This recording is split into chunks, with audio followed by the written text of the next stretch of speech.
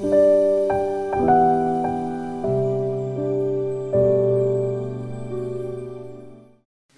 രാത്രികാലം കർത്താവ് തന്ന വചനം റോമാക്കാർക്ക് എഴുതിയ ലേഖനം അതിന്റെ പന്ത്രണ്ടാം അധ്യായം ഒന്ന് മുതലുള്ള വചനങ്ങളാണ്. റോമ പന്ത്രണ്ടിന്റെ ഒന്ന്. എല്ലാവരും ശ്രദ്ധിച്ച് കേൾക്കണേ. നാളെ അച്ഛൻ വരുവാണെങ്കിൽ ചോദിക്കും. റോമ പന്ത്രണ്ട് ഒന്ന്. ഓർത്തിരിക്കാൻ എളുപ്പമാണ്. ഒന്ന് രണ്ട് ഒന്ന്. അലലുയ്യ എളുപ്പ വഴി പറഞ്ഞു തരുകയും ചെയ്ത്. റോമ പന്ത്രണ്ട് ഒന്ന് ഒന്ന് രണ്ട് ഒന്ന്. ശ്രദ്ധിച്ചു കേൾക്കുക ആകയാൽ സഹോദരരെ എല്ലാവരോടും കൂടിയാണ് പൗലോസ്ലിഹ പറയുക. ദൈവത്തിന്റെ കാരുണ്യം അനുസ്മരിച്ചുകൊണ്ട് ദൈവത്തിന്റെ കരുണ ഓർത്തുകൊണ്ട്. എന്താണ് ദൈവത്തിന്റെ കരുണ? ദൈവത്തിന്റെ കരുണ എന്നാ? ഓർക്കണെങ്കിൽ എന്താന്ന് അറിയണ്ടേ? എന്താ ദൈവത്തിന്റെ കരുണ?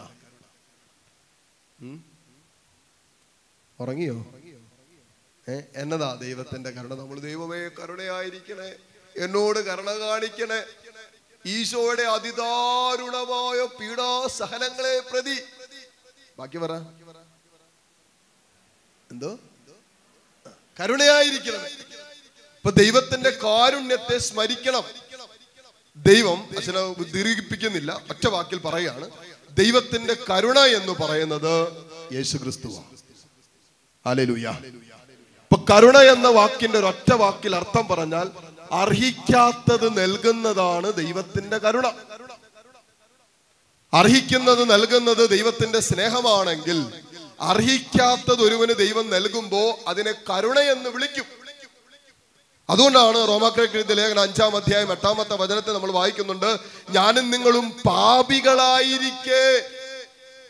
ഞാനും നിങ്ങളും പാപികളായിരിക്കെ. യേശു ക്രിസ്തുവിലൂടെ സ്വർഗം പിതാവ് നമ്മളെ സ്നേഹിച്ചു കരുണ കാണിച്ചു. അലലുയ്യ എന്ന് പറഞ്ഞ ഒരു യോഗ്യതയില്ല. വിശുദ്ധ കുർബാന നമ്മുടെ നാവിലേക്ക് വൈദികന്റെ കരങ്ങളിലൂടെ ഈശോ നമ്മുടെ അധരങ്ങളിലേക്ക് കടന്നു വരുമ്പോ നമുക്കറിയാം നമുക്ക് ഇതിനൊന്നും യോഗ്യതയില്ലെന്ന്. എന്നാലും നമ്മൾ നാവ് നീട്ടി സ്വീ- സ്വീകരിക്കും. ഈശോ ഒരു ബലവും പിടിക്കാതെ നമ്മുടെ അധരങ്ങളിലേക്ക് നമ്മുടെ നാവിലേക്ക് ഈശോ കടന്നു വരും. ഇത് ദൈവത്തിന്റെ കരുണ. അതുകൊണ്ടാണ് വിശുദ്ധ കുർബാനയെ ദൈവകാരുണ്യം എന്ന് വിളിക്കുന്നത്. ഹാലേലൂയ സ്വരമറ്റ് പറ ഹാലേലൂയ അർഹിക്കാത്ത സ്നേഹമാണ് ഓരോ വിശുദ്ധ കുർബാനയിൽ ദൈവം കാണിക്കുന്നത്. ഓരോ കുമ്പസാരക്കൂട്ടിലും ദൈവം കാണിക്കുന്നത് അർഹിക്കാത്ത സ്നേഹം. അർഹിക്കാത്ത സമ്മാനമാണ് ഓരോ കുമ്പസാരത്തിലും ദൈവം നമുക്ക് തരുന്നത്. നമുക്ക് ഒരു യോഗ്യതയില്ല. അതുകൊണ്ടാണ് വിശുദ്ധ ഫൗസ്റ്റീനയിലൂടെ കർത്താവ് സംസാരിക്കുന്നത്. ഏറ്റവും വലിയ പാപിക്കാണ് ദൈവത്തിന്റെ കരുണയ്ക്ക് ഏറ്റവും വലിയ അവകാശി. ആലേലൂയ ഏറ്റവും വലിയ പാപിക്കാണ് ദൈവത്തിന്റെ കരുണയ്ക്ക് ഏറ്റവും വലിയ അവകാശമുള്ളത്. എന്ന് പറഞ്ഞാൽ ദൈവത്തിന്റെ കരുണ എന്ന് പറഞ്ഞാൽ കർത്താവിന്റെ പിളർക്കപ്പെട്ട ഹൃദയം തന്നെയാ നമ്മൾ തിരുഹൃദയത്തിന്റെ തിരുനാൾ ആഘോഷിക്കുക. ഈ ഒരു വർഷക്കാലം തിരുഹൃദയത്തിന്റെ തിരുനാൾ. അവിടെ പുറകിൽ ഒരു ഫ്ലക്സ് കിടപ്പുണ്ട്. തിരുഹൃദയത്തിന്റെ തിരുനാൾ വർഷം. രണ്ടായിരത്തി പതിനെട്ട് മാർച്ച് മുതൽ രണ്ടായിരത്തി പത്തൊൻപത് മാർച്ച് പതിനേഴ് വരെ എന്ന് പറഞ്ഞ് പുറകിൽ ഒരു ഫ്ലക്സ് ഉണ്ട്. ഫ്ലക്സ് അവിടെ ചരിച്ചു വെച്ചിട്ടുണ്ട്? കുറേ കാര്യങ്ങളും അതിനകത്ത് എഴുതി വെച്ചിട്ടുണ്ട് അല്ലേ? അപ്പൊ ഈ ദൈവത്തിന്റെ കരുണ കർത്താവിന്റെ ഹൃദയത്തിൽ നിന്ന് ഒഴുകുന്നതായി കരുണ. എന്ന് പറഞ്ഞാൽ നിനക്ക് ഒരു യോഗ്യതയില്ല. അതാണ് അനീഷച്ചൻ പറഞ്ഞില്ലേ? ധൂർത്തപുത്രൻ തിരിച്ചു വന്നു. അപ്പന്റെ മുമ്പിൽ നിൽക്കാൻ ഒരു യോഗ്യതയില്ല. അപ്പന്റെ സ്വ- സ്വത്ത് അവകാശം മുഴുവൻ മേടിച്ചിറങ്ങിപ്പോയി. നീ നിന്റെ പണി എനിക്ക് എന്റെ പണി എനിക്കുള്ളതും കൂടെ തന്നേര് ഞാൻ പോവാ. എന്നും പറഞ്ഞ് വാശിയും ആ അധികാരത്തോടു കൂടി ഇറങ്ങിപ്പോയി. പോകുന്ന വഴിക്ക് ദൂർത്തടിച്ച് വേശ്യകളിലൂടെ ചെലവഴിച്ച് പാവികളിലൂടെ ചെലവഴിച്ച് മദ്യത്തിന് ലഹരിക്കും ചെലവഴിച്ച് അവസാനം പന്നിക്കൂട് വരെ എത്തി. എവിടെ എത്തി? ഉറക്കെ പറ. ചിലവരൊക്കെ പന്നിക്കൂട്ടിലായിരിക്കും ഇപ്പം നിൽക്കുന്നത്. അതുകൊണ്ട് ആത്മശോധന ചെയ്യണം. പന്നിക്കൂട്ടിലെത്തി. പന്നിക്കൂട്ടിലെത്തിയപ്പോൾ അവന് സുബോധമുണ്ടായി. അങ്ങനെ പറയാം. പന്നിക്കൂട്ടിലെത്തിയപ്പോൾ സുബോധമുണ്ടായി.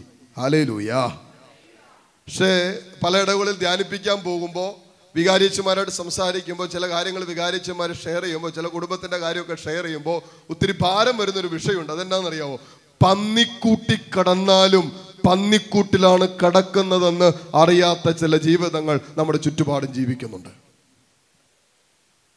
തിന്നുന്നത് പന്നിക്ക് കൊടുക്കുന്ന തവിളാണെന്ന് അറിയാൻ പാടില്ലാത്ത ചില ജീവിതങ്ങൾ. അലലൂയ പക്ഷെ ഇവരൊരു സുബോധം ഉണ്ടായി. സുബോധം ഉണ്ടായപ്പോ അവന്റെ തലയ്ക്കകത്ത് വന്നൊരു ചിന്ത ചെയ്ത എന്റെ ഭവനത്തിൽ എന്റെ അപ്പന്റെ ദാസന്മാർ അടിമകൾ എത്രയോ സുഭിക്ഷമായിട്ട് ഭക്ഷണം കഴിക്കുന്നു. ഞാൻ മകനായിട്ട് അടിമയല്ല മകനാ. മകനായിട്ട് ഒരു നേരം ഭക്ഷണമില്ല സ്വരമെടുത്ത് പറ ഹല്ലേ ഇതാണ് അവനുണ്ടായ സുബോധം. എന്താ സുബോധം? അപ്പന്റെ മകനാണെന്നുള്ള സുബോധം. ഇതാണ് മകനുണ്ടായ. അടിമയല്ല അടിമ ജീവിക്കുന്നത് പോലെ അടിമത്തത്തിൽ കഴിയേണ്ടവനല്ല. അടിമത്തത്തിൻ പാപത്തിന്റെ പിശാചിന്റെ ജഡത്തിന്റെ അടിമയായി കഴിയേണ്ടവനല്ല ഞാനെന്നുള്ള സുബോധമാണ് പരിശുദ്ധാത്മാവിന് കൊടുത്തത്. ഇപ്പൊ തിരിച്ചു നടന്നു. സുബോധം ഉണ്ടായപ്പോൾ തിരിച്ചു നടന്നു. അങ്ങോട്ട് നഷ്ടപ്പെടുത്തി കളഞ്ഞ അപ്പന്റെ സ്നേഹത്തിലേക്കും നഷ്ടപ്പെടുത്തി കളഞ്ഞ വസ്ത്രത്തിന്റെ വിശുദ്ധിയിലേക്കും നഷ്ടപ്പെടുത്തി കളഞ്ഞ പുത്രന്റെ അധികാരത്തിലേക്കും തിരിച്ചു നടന്നിട്ട് തിരിച്ചു നടക്കുമ്പോൾ അപ്പന്റെ അടുത്ത് വരുമ്പോൾ ഇനി ശ്രദ്ധിക്കുക. വചനം പറയുന്നു അപ്പൻ ഓടിച്ചെന്ന് കെട്ടിപ്പിടിച്ച് മാറോട് ചേർത്ത് അവനെ ചുംബിച്ചു. ഒരു വാക്കുകൊണ്ടുപോലും അവനെ കുറ്റപ്പെടുത്തിയില്ല. ഇതാണ് കരുണ. ഹല്ലേലൂയ. ഇതാണ് ദൈവത്തിന്റെ കരുണ. അപ്പൊ ചോദിച്ചാ നീ ദൂർത്തടിച്ചിട്ടല്ലേ വന്നേ? എന്നെ സമ്പത്തോടെ നീ കൂടെ കളഞ്ഞില്ലേ? കണ്ട പെണ്ണുങ്ങളൂടെ കടന്നില്ലേ? മദ്യപിച്ച് ദൂർത്തടിച്ചില്ലേ ഇതൊന്നും അപ്പൊ ചോദിച്ചില്ല. ഒരു വാക്ക് പോലും ചോദിച്ചില്ല. ഏതു പാപത്തിന്റെ അങ്ങേയറ്റം പോയാലും പ്രിയപ്പെട്ട ദൈവമേതലെ കർത്താവിന്റെ തിരുഹൃദയത്തിൽ നിനക്കായി അവന്റെ പാർശ്വം പിളർക്കപ്പെട്ടിട്ടുണ്ട്. അതെന്നും തുറന്നു കിടക്കുകയാ. എന്തിനാ? അത് ദൈവത്തിന്റെ കരുണയാ. നോക്കിക്കേ. അവന്റെ പാർശ്വമൊന്നും തുറന്നിട്ടിരിക്കുക. അതെനിക്കും നിനക്കും പ്രവേശിക്കാൻ വിശുദ്ധനാകാൻ സ്വർഗം എന്നത്തേക്കുമായി തുറന്നിട്ടിരിക്കുന്നവന്റെ പാർശ്വമാണ് നോഹയുടെ പെട്ടകത്തിന്റെ പാർശ്വം തുറന്നിട്ടിട്ട് കർത്താവ് ക്ഷണിച്ചില്ലേ ചിലരെയൊക്കെ അല്ലേ ലൂയാ പലതരമെടുത്ത് പറഞ്ഞേ ഹാലേ ലൂയാ സ്വരമെടുത്ത് പറ ഹാലേ ലൂയാ ഇപ്പൊ സുവിശേഷം കേൾക്കുമ്പോൾ ഏറ്റവും കൂടുതൽ സന്തോഷിക്കുന്ന ആരാണെന്ന് അറിയാവോ? പാപികളാ. കാരണം കർത്താവ് പറഞ്ഞു ഞാൻ നീതിമാന്മാരെ വിളിക്കാനല്ല പാപികളെ വിളിക്കാനാ വന്നേ. നീതിമാന്മാരെ വിളിക്കാനല്ല പാപികളെ വിളിക്കാനാ വന്നത് അപ്പൊ ഇതാണ് കരുണ എന്ന് പറഞ്ഞാൽ ഓരോ ദിവസവും നമ്മൾ ദൈവത്തിന്റെ കരുണയെ ധ്യാനിക്കണം എന്ന് പറഞ്ഞാൽ ദൈവമേ അർഹിക്കാത്തത് എന്തോരം നീ എനിക്ക് തന്നുകൊണ്ടിരിക്കുന്നു. അർഹിക്കാത്ത സ്നേഹമാണല്ലോ ഓരോ ദിവസം കാണിക്കുന്നത് അർഹിക്കാത്ത സംരക്ഷണം നീ എനിക്ക് തരുന്നുണ്ടല്ലോ. അർഹിക്കാത്ത ജീവിതത്തിന്റെ വഴിത്താരകളിലുള്ള അനുഗ്രഹങ്ങൾ നീ എനിക്ക് തുറന്നു തരുന്നുണ്ടല്ലോ. ഉന്തൂരം മേഖലകളിലാണ് ദൈവം ഓരോ ദിവസവും ഓരോ നിമിഷവും പ്രിയപ്പെട്ട ദൈവവൈതലേ നമ്മളോട് കരുണ കാണിക്കുന്നത്. ആലലൂയ അല്ലേ? ഇങ്ങനെയൊക്കെ ഒന്ന് ഇരുന്ന് ധ്യാനം കൂടാൻ പറ്റുന്ന തന്നെ ദൈവത്തിന്റെ കരുണയല്ലേ? അച്ഛൻ പറഞ്ഞില്ലേ ചമ്പക്കുളത്തായിരുന്നു ധ്യാനം ഇന്നലെ മിനിഞ്ഞാന്ന് വരെ. അവിടെ ഒരു പെങ്കൊച്ച് മൂന്ന് ദിവസം പുറകെ വന്നു. അച്ഛന്റെ വീട്ടിൽ വന്നു ഒന്ന് പ്രാർത്ഥിക്കാവൂ എന്ന് പറ്റില്ലായിരുന്നു. കാരണം സമയം അതിന് അനുവദിച്ചില്ല. ഞങ്ങൾ കൃത്യം ആ സമയത്താണ് ചെല്ലുന്നത്. കാര്യസ്വല പ്രോഗ്രാം ഉണ്ട്. അതും കഴിഞ്ഞ് ഓടി അവിടെ ചെല്ലും. അഞ്ച് മണിയാവും. നേരെ വിശുദ്ധ കുർബാനയ്ക്ക് കയറും. പരിപാടി തീരും ഒൻപതരയാവും. പിന്നെ അവിടെ നിന്ന് തിരിച്ചിവിടെ വരണം. വീണ്ടും പരിപാടിയാണ് രാത്രി പന്ത്രണ്ടര ഒരു മണിയാകുമ്പോഴെത്തുന്നത് അതുകൊണ്ട് പിന്നെ വീട്ടിൽ പോയി പ്രാർത്ഥിക്കാനുള്ള സമയമുണ്ടല്ലോ. മൂന്ന് ദിവസം ഈ പൊങ്കൊച്ച് വന്നിട്ട് പറഞ്ഞു അച്ഛാ എന്റെ അപ്പന് വേണ്ടി ഒന്ന് പ്രാർത്ഥിക്കണം. കഴിഞ്ഞ ഏതാനും വർഷങ്ങളായിട്ട് അപ്പൻ തളർന്നു കിടക്കുമോ വീട്ടിൽ. അച്ഛനൊന്ന് വന്ന് പ്രാർത്ഥിക്കാവോ? ഞാൻ പറഞ്ഞു മോളെ ഒരു നിവൃത്തിയില്ല. വർഷങ്ങളായിട്ട് തളർന്നു കിടക്കുക ഇവിടെ എഴുന്നേറ്റ് നിന്ന് ഇരിക്കാൻ പറ്റുന്നുണ്ടല്ലോ. ആലലൂയ ഇതും കർത്താവിന്റെ കരുണയാ. എന്ന് പറഞ്ഞാൽ എത്ര നന്ദി പറഞ്ഞാലും മതിയാകില്ല പ്രിയപ്പെട്ട അതുപോലെ ദൈവം നമ്മളോട് കരുണ കാണിക്കുന്നുണ്ട്. അതുപോലെ ദൈവം നമ്മളോട് ഈ പാപത്തിൽ ജീവിച്ചിട്ടും അശുദ്ധിയിൽ ജീവിച്ചിട്ടും പിശാചിന്റെ വഞ്ചനയ്ക്ക് ഒരുവന്റെ ജീവിതത്തെയും കുടുംബത്തെയും വിട്ടുകൊടുത്തിട്ടും ഇന്നും ദൈവം നമ്മളെ സംരക്ഷിക്കുന്നില്ലേ? ഇന്നും ദൈവം നമ്മളെ വഴി നടത്തുന്നില്ലേ? അപകടങ്ങളിൽ നിന്നും അനർത്ഥങ്ങളിൽ നിന്നും തടസ്സങ്ങളിൽ നിന്നും പ്രശ്നങ്ങളിൽ നിന്നും പ്രതിസന്ധികളിൽ നിന്നും ദൈവം നമ്മളെ കരുതലോടെ കാണുന്നുണ്ടെങ്കിൽ അതിന്റെ പേരാണ് ദൈവത്തിന്റെ കരുണ. ആലേലുയാ പഴയ അവസ്ഥയൊക്കെ ആയിരുന്നെങ്കിൽ ഉണ്ടല്ലോ ഞാൻ പലപ്പോഴും ഈ അപ്പസ്തോല പ്രവർത്തനങ്ങൾ അതിന്റെ അഞ്ചാം അധ്യായം വായിക്കുമ്പോൾ പല സമയത്ത് ഇങ്ങനെ ഭാരപ്പെട്ടിട്ടുണ്ട്. അവിടെ എഴുതി വെച്ചിരിക്കുന്ന ഒരു സംഭവമുണ്ട്. പെട്ടെന്ന് വായിക്കാം. അപ്പസ്തോല പ്രവർത്തനങ്ങൾ അഞ്ചാം അധ്യായം അനനിയാസ് സഫീറൈ. അപ്പൊ അവരങ്ങനെയാണ് കിട്ടുന്നൊക്കെ ഒരുമിച്ച് ഇങ്ങനെ ഉപയോഗിക്കുമായിരുന്നു സ്വന്തമായിട്ടുള്ളതെല്ലാം വിറ്റ് അപ്പസ്തോലന്മാരുടെ കാൽപാദങ്ങൾ വെക്കും. അനനിയാസ് എന്ത് ചെയ്തു? എല്ലാം അങ്ങനെ കൊടുക്കുന്നേ. എല്ലാം അങ്ങനെ ദൈവത്തിന് കൊടുക്കുന്നേ. അതുകൊണ്ട് കുറച്ച് മാറ്റി വെച്ചിട്ട് പറമ്പ് വിറ്റതിനെ കുറച്ച് മാറ്റി വെച്ചിട്ട് കുറച്ച് ബാക്കി എല്ലാം കൊണ്ടുവന്ന് അപ്പസ്വലന്മാരുടെ കാൽപാദത്തെങ്കിൽ വെച്ചു. പത്രോസ് ചോദിച്ചു. പത്രോസ് ഇങ്ങനെ ഒരു ചോദ്യം ചോദിച്ചു. ശ്രദ്ധിച്ചു കേട്ടോ. പത്രോസ് ചോദിച്ചു. പറമ്പ് അനനിയാസെ പരിശുദ്ധാത്മാവിനെ വഞ്ചിക്കാനും പറമ്പിന്റെ വിലയുടെ ഒരംശം മാറ്റിവെക്കാനും സാത്താൻ നിന്റെ ഹൃദയത്തെ പ്രേരിപ്പിച്ചതെന്ത്? ഹാലേലൂയ. സ്വരം എടുത്ത് പറ. ഹാലേലൂയ. ഇതിന്റെ അർത്ഥം എന്താണെന്നറിയാവോ പ്രിയപ്പെട്ടത് ഒരു പൂർണമായ സമർപ്പണം ദൈവത്തോട് എടുക്കാൻ അനുവദിക്കാത്ത രീതിയിൽ പിശാജ് എന്തുകൊണ്ട് നിന്നെ കുറച്ച് മാത്രമായി നിന്റെ ഇഷ്ടത്തിന് നിന്റെ ആഗ്രഹത്തിന് നിന്റെ താല്പര്യങ്ങൾക്ക് വേണ്ടി മാറ്റിവെക്കാൻ അനുവദിച്ച്? നമ്മൾ ദൈവത്തെ ആരാധിക്കുമ്പോൾ ദൈവത്തെ സ്തുതിക്കുമ്പോൾ പ്രാർത്ഥിക്കുമ്പോൾ പള്ളി വരുമ്പോൾ നമ്മൾ ഭയങ്കര പ്രാർത്ഥന ആരാധനയൊക്കെ. പക്ഷെ ചില സ്വകാര്യ ഇഷ്ടങ്ങൾ ചില സ്വകാര്യ പാപസുഖങ്ങൾ നമ്മൾ ഉപേക്ഷിക്കില്ല അത് നമ്മളിങ്ങനെ താലോലിപ്പിച്ചുകൊണ്ടിരിക്കും. അതിങ്ങനെ കണ്ടിന്യൂ ചെയ്തുകൊണ്ടിരിക്കും. ചില കണ്ണിന്റെ അശുദ്ധി ചില ശരീരത്തിന്റെ അശുദ്ധികൾ ചില ജഡത്തിന്റെ വ്യാപാരങ്ങൾ ചില ജഡമോഹങ്ങൾ ചില ദുശീലങ്ങൾ ചില വെറുപ്പിന്റെ വിദ്വേഷത്തിന്റെ മേഖലകൾ ഇതൊക്കെ നമ്മളിങ്ങനെ താലോലിച്ചു കൊണ്ടിരിക്കുക നമുക്ക് ഇഷ്ടമുള്ള ചിലതൊക്കെ നമ്മൾക്ക് വെക്കുക. ബാക്കിയെല്ലാം ദൈവത്തിന് കൊടുക്കും. സുരമൃതി പറ ഹാലുയാ മക്കൾ കൊടുക്കും. സാമ്പത്തിക മേഖല അനുഗ്രഹമില്ല കർത്താവ് അതുകൊണ്ട് ഈ മേഖല ഇതാ നിനക്ക് തരുന്നു അനുഗ്രഹിക്കണേ.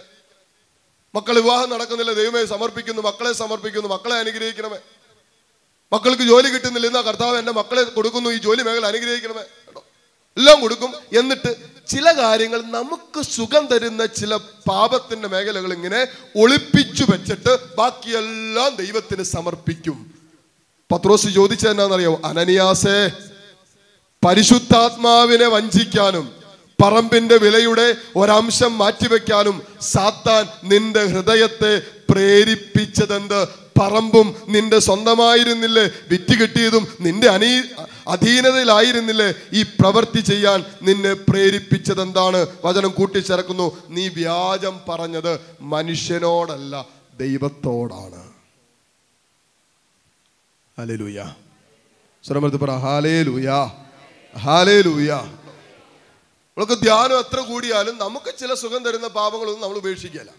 ചില പാപബന്ധങ്ങളൊന്നും നമ്മൾ മാറ്റുകയില്ല. ചിലപ്പോൾ ദാമ്പത്യ അവിശ്വസ്തയുടെ മേഖലയിൽ വർഷങ്ങളായിട്ട് കിടക്കുക ജീവിത പങ്കാളി അറിയാതെ ചില ഫോൺ ബന്ധങ്ങൾ ചില ദാമ്പത്യത്തിനപ്പുറം നിൽക്കുന്ന ബന്ധങ്ങൾ ഇതൊക്കെ നമ്മളിങ്ങനെ ആലോചിച്ചു കൊണ്ടിരിക്കുക വചനം കേൾക്കും ബാക്കിയെല്ലാം ദൈവത്തിന് സമർപ്പിക്കും മക്കളെ സമർപ്പിക്കും സാമ്പത്തിക മേഖലയെ സമർപ്പിക്കും രോഗമുള്ള മേഖലകളെ സമർപ്പിക്കും. ഇതെന്താ സമർപ്പിക്കാത്ത? അലലുയ കണ്ണുകളുടെ വിശുദ്ധി കളയുന്ന ചില പാപത്തിൽ ഇങ്ങനെ കെട്ടിയിട്ടതുപോലെ കിടക്കുക മൊബൈൽ എടുത്ത് അപ്പൊ പാപം ചെയ്യും. അപ്പൊ ബ്ലൂ ഫിലിമിലാണ് കാണുന്നുകൊണ്ടിരിക്കുന്നത് കൂട്ടുകാർ അങ്ങോട്ടും ഇങ്ങോട്ടും പരസ്പരം ഷെയർ ചെയ്യുന്നത് ഇങ്ങനെ മ്ലേച്ഛതയാണ്. ഇതാ കണ്ടുകൊണ്ടിരിക്കുന്നത് ഹല്ലേലൂയ. സ്വകാര്യതയിൽ ശരീരത്തിന്റെ വിശുദ്ധി കളയുന്ന പാപത്തിലാണ് കിടക്കുന്നത് സ്വയംഭോഗത്തിലും സ്വവർഗരതിയിലും വ്യഭിചാര ചിന്തകളിലുമാണ് ദൈവവൈതൽ കിടക്കുന്നത് എന്നിട്ട് ആ സുഖമുണ്ടല്ലോ. പാപത്തിന്റെ പിന്നിൽ ഒരു സുഖമുണ്ട്. ഹാലലൂയ അതുകൊണ്ടല്ലേ ചിലതൊക്കെ ഉപേക്ഷിക്കാൻ പറ്റാത്ത? എന്തുകൊണ്ടാ? പാപത്തെ നമുക്ക് ഉപേക്ഷിക്കാൻ പറ്റാത്ത? ഒരു പാപം ചെയ്യുമ്പോ പാപത്തിന്റെ പിന്നിൽ ഒരു സുഖമുണ്ട്. ഹാലേ ലൂയാ അത്ര തുറന്ന് പറഞ്ഞേ? ഹല്ലേ ലൂയാ അല്ലേ ലൂയാ ഞാനിങ്ങനെ കാരിസ്മാൻ അടുത്ത് ഒരു ചേടത്തി ഇടയ്ക്കിടയ്ക്ക് ഇങ്ങനെ വിളിക്കുമായിരുന്നു അച്ഛ ഒന്ന് വരാവോ? വീട്ടിൽ വന്നൊന്ന് പ്രാർത്ഥിക്കാവോ? പുള്ളി നല്ല തണ്ണിയാണ്. വൈകിട്ട് വന്നു കഴിഞ്ഞാൽ നല്ല ഓഫായിട്ടാണ് വരുള്ളൂ അപ്പൊ നന്നായിട്ട് ജോലി എടുക്കുന്ന ടീമാണ് നല്ല കഠിനാധ്വാനിയാണ് അപ്പോൾ വൈകിട്ട് വരുമ്പോൾ പുള്ളി ഇച്ചിരി അതിൽ നിന്ന് അടിച്ച് വെള്ളമൊക്കെ അടിച്ച് ഇച്ചിരി ഫിറ്റായിട്ടേ വരുള്ളൂ മൂന്ന് മക്കളുണ്ട്. അപ്പോൾ പുള്ളിക്ക് ഒരു പ്രശ്നമുണ്ട്. വെള്ളം അടിച്ച് വന്നാൽ പിന്നെ വായ തുറന്നാൽ തെറിയ പറയുള്ളൂ. ചിലരൊക്കെ കണ്ടില്ല വായ വായ തുറന്നാൽ പിന്നെ സുഹൃതം മാത്രമേ വായ എന്ന് വരുള്ളൂ. ഇപ്പൊ പുള്ളി വായ പുള്ളിയുടെ പ്രശ്നം വെള്ളം അടിച്ചാൽ പിന്നെ തെറി തന്നെ തെറി അപ്പൊ വീട്ടിൽ വരുമ്പോൾ അവൾ അവളെ തെറി അവളുടെ അപ്പനെ തെറി അവളുടെ അമ്മയെ തെറി പിന്നെ വീട്ടുകാരെ മുഴുവൻ തെറി അടച്ച് തെറി പറയും. ഇതെല്ലാ ദിവസത്തെ പരിപാടിയാണ് അപ്പൊ വീട്ടിൽ വന്നാൽ പിന്നെ പ്രാർത്ഥനയും നടക്കുകയല്ല പിള്ളേരെ പഠിത്തവും നടക്കുകയല്ല. അതുകൊണ്ട് സാധാരണ ചെയ്യുന്ന പിള്ളേർക്കൊക്കെ അറിയാം വർഷങ്ങളായിട്ടുള്ള അപ്പന്റെ ശീലമായതുകൊണ്ട് പിള്ളേർ ആറു മണിയാകുമ്പോൾ അമ്മയും മക്കളും കൂടി ആറു മണിയാകുമ്പോൾ പ്രാർത്ഥിക്കാനിരിക്കും. ആറു മണിക്ക് പ്രാർത്ഥിക്കാനിരുന്ന് ആറരയാകുമ്പോൾ പ്രാർത്ഥന തീരും മൂന്ന് മക്കളും കൂടി അയൽവക്കത്തെ വീട്ടിലേക്ക് പോകും അവിടെ ഇരുന്ന് പഠിക്കും. അപ്പൊ അപ്പൻ ഒരു ഏഴ് ഏഴേ കാലാവുമ്പോൾ അപ്പം വരും. എല്ലാ ദിവസവും വരുന്ന അതേ ഫോമിൽ തന്നെ അപ്പൻ വരും. പിന്നെ വീട്ടിൽ ബഹളം അടി പിന്നെ അടുക്കളയിൽ കിടക്കുന്ന കഞ്ഞിയും കറിയൊക്കെ ഉണ്ടാക്കി വെച്ചിരുന്ന ചിലപ്പോൾ പുള്ളിക്ക് വയലന്റ് ആയി കഴിഞ്ഞാൽ അതൊക്കെ കൊണ്ടുവന്ന് രൂപീകരിക്കുന്ന മുറിയിൽ ആ ടേബിളിൽ കൊണ്ടുവന്ന് ഇതെല്ലാം കമത്തും അവിടെ ഇരുന്ന് വാരി തിന്നും അവിടെ തന്നെ ഛർദ്ദിച്ചിടും. എല്ലാ കലാപരിപാടിയുണ്ട്. അപ്പോൾ മക്കൾ ഇതെല്ലാം ഒന്ന് ശാന്തമായി കഴിയുമ്പോൾ അമ്മ പോയി കൂട്ടിക്കൊണ്ട് വരികയും ചെയ്യുന്നു. ചില ദിവസങ്ങളിൽ ആ അയലോക്കത്തെ വീട്ടിൽ തന്നെ കടന്ന് പിള്ളേർ ഉറങ്ങും. ഇപ്പോഴും അപ്പോൾ ഈ സഹോദരൻ ഇടയ്ക്കിടയ്ക്ക് എന്റെ കാരിസ്മനിൽ വരും പറയും അച്ഛൻ ഒന്ന് പറ്റുമെങ്കിൽ ഒന്ന് വരാമോ എന്റെ ജീവിത പങ്കാളിടത്ത് ഒന്ന് സംസാരിക്കാൻ വെച്ചോ അച്ഛൻ പറഞ്ഞാൽ ചിലപ്പോൾ കേൾക്കും. എന്നുള്ളതിലാണ് ഈ പറയുന്നത്. ഞാൻ പറഞ്ഞു ഈ അവസ്ഥയിൽ എന്നാ പറയാൻ സുബോധമുള്ളപ്പോൾ ഇവിടെ കൊണ്ടുവാ. അപ്പൊ സംസാരിക്കാം. ഹ്.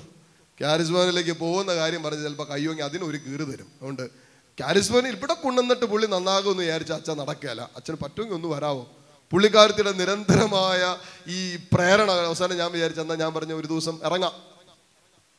പുള്ളി ഈ പിള്ളേ ഒരു ആറാറര സമയത്ത് അച്ഛൻ വന്നാൽ മതി. ഒരു ഏഴ് മണി ആറരയ്ക്കോ ഏഴ് ഏഴേകാലിനൊക്കെ ഉള്ളിൽ പുള്ളി വരുമെന്ന് പറയും ഞാനവിടെ ചെന്നപ്പോൾ ഒരു പിള്ളേർ സന്ധ്യാപ്രാർത്ഥനയാണ്. ഞാൻ ഞാൻ വെയിറ്റ് ചെയ്തു. സന്ധ്യാപ്രാർത്ഥന ഞാൻ കയറി. കുറച്ച് നേരം ഇരുന്ന് പിള്ളേരായിട്ട് വർത്തമാനം പറഞ്ഞു അപ്പോഴേക്കും പിള്ളേർ പറഞ്ഞു അച്ഛൻ ഞങ്ങൾ പോവാ പഠിക്കാൻ പോവാന്ന് പറഞ്ഞു. അങ്ങനെയാണ് ഞാൻ അറിയുന്നത്. പിള്ളേർ അയലക്കത്ത് വീട്ടിലേക്കാണ് പോകുന്നത്. അപ്പോൾ ഞാൻ പറഞ്ഞു ഇങ്ങനെയാണോ സ്ഥിരം ഇങ്ങനെയാണോ സ്ഥിരം വെച്ചോ പിള്ളേർ അങ്ങോട്ട് പോയി. പുള്ളി അവിടെ കുറച്ച് കഴിഞ്ഞപ്പോഴേക്കും പുള്ളി പഴയ നല്ല അത്യാവശ്യം നല്ല ഫോമിൽ തന്നെ പുള്ളി അന്നും വന്നു. അന്ന് എന്നെ കണ്ടപ്പോൾ എന്നെ അറിയുന്നതാണ്. നല്ല പരിചയമുള്ള മുഖമായതുകൊണ്ട് എന്നെ കണ്ടപ്പോൾ തന്നെ പുള്ളി മുണ്ടക്കുരു അച്ഛോ ഈശോമിശായിക്ക് സ്തുതി ഉ, ആ ഭവ്യതയൊക്കെ കണ്ടു കഴിഞ്ഞാൽ നമ്മൾ അങ്ങോട്ട് ഏ കാൽ കഴി വെള്ളം കുടിക്കാൻ തോന്നും ഏ. എന്നിട്ട് വിളി എടി അച്ഛന് ചായ ഒന്നും കൊടുത്തില്ലേടി ഞാൻ പറഞ്ഞു ചായ കുടിച്ചിട്ടാ ഞാൻ വന്നേ. വേറെ കഴിക്കാനൊന്നും ഇല്ലേടി അച്ഛന്. ഞാൻ പറഞ്ഞു എനിക്ക് അത്യാവശ്യം ബിസ്ക്കറ്റ് സാധനങ്ങളൊക്കെ വെച്ചിട്ടുണ്ട് ഞാൻ കഴിച്ചതാണ് പിന്നെ അച്ഛ എന്നൊക്കെ ഉണ്ട് അച്ഛ കാരിസ്മാന് വിശേഷം. ഞാൻ പറഞ്ഞു കാരിസ്മാനിൽ എല്ലാവർക്കും സുഖം കുഴപ്പമൊന്നുമില്ല. അല്ല അച്ഛ എന്നെ ഇവിടെ പതിവില്ലാതെ ഇവിടെ? ഒന്ന് കാണാൻ വേണ്ടി വന്നതാ. എന്നാ ചുവടെ അങ്ങനെ വല്ല പ്രത്യേകിച്ച് പരിപാടി വല്ലതും ഞാൻ പറഞ്ഞു പ്രത്യേകിച്ച് പരിപാടിയൊന്നുമില്ല. ഇങ്ങോട്ടായിട്ട് തന്നെ വന്നതാ.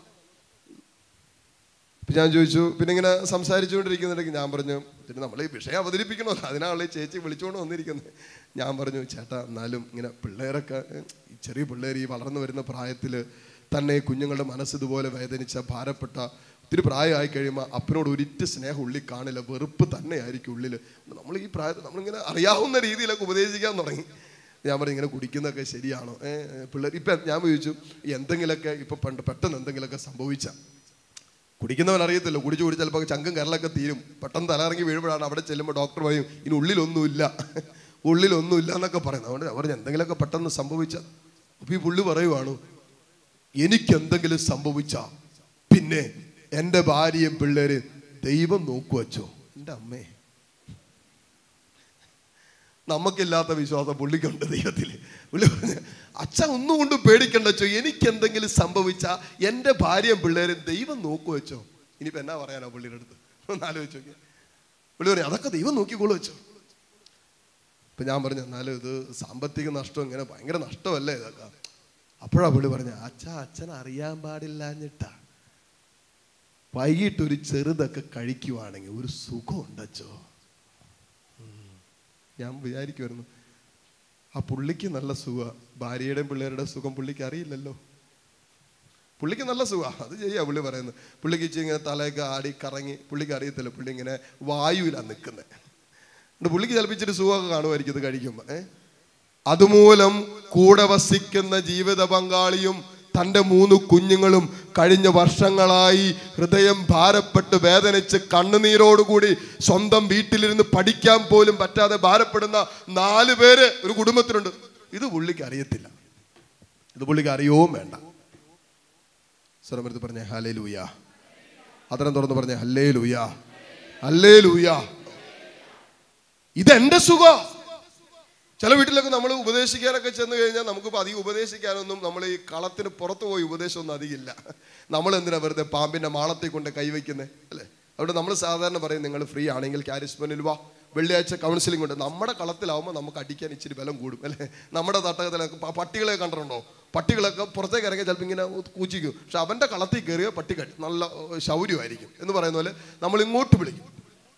ചിലയിടത്തൊക്കെ ചെന്ന് നേരത്തൊക്കെ ഇച്ചിരി ഉപദേശിക്കാൻ തുടങ്ങുമ്പോൾ ചിലർ ചോദിക്കാണ്ട് അച്ഛാ എന്റെ കാശ് ഞാൻ അധ്വാനിച്ചുണ്ടാക്കുന്ന കാശ് ഞാൻ കുടിക്കും ഞാൻ വലിക്കും. അച്ഛൻ എന്നാ കുഴപ്പം? നിങ്ങളൊന്ന് ചിന്തിച്ചു നോക്കി അച്ഛൻ എന്നാ കുഴപ്പം? ശരിയല്ലേ? പുള്ളി ചോദിച്ചത് ശരിയല്ലേ? അച്ഛന്റെ കാശാണോ കുടിക്കുന്നത് അല്ല. അച്ഛന്റെ കാശിനാണോ വലിക്കുന്നത് അല്ല. അച്ഛന്റെ കാശിനാണോ ദൂർത്തടിക്കുന്നത് അല്ല. പിന്നെ അച്ഛൻ എന്നാ കുഴപ്പം? നല്ല കുഴപ്പമുണ്ടോ? പറ. അല്ലേ ലൂയ ആ അച്ഛനല്ലോ ഉഴപ്പം എന്നിട്ട് അവസാനം ഒരു ചോദ്യം കൂടി. കാരിസ്മനിൽ ഇപ്പൊ പണിയൊന്നും ഇല്ലേ? ധ്യാനങ്ങളൊന്നും ഇല്ലേ? പിന്നെ എന്താ പറയാനോ ഇപ്പൊ ധ്യാനങ്ങളൊക്കെ ഒന്നും ഇല്ലേ? കാരിസ്മനിൽ അച്ഛന് പണിയൊന്നും ഇല്ലേ? അതുകൊണ്ട് ഇപ്പോ മാളത്തിൽ പോയി കൈയിടുന്ന പരിപാടി നിർത്തി ഇങ്ങോട്ട് കിട്ടിയാൽ നമ്മൾ നല്ല കീറ് കൊടുക്കും. ഹാലേ ലൂയ സ്വരമൃതി പറ ഹാലേ ലൂയ ഇത് സ്വാർത്ഥതയാ.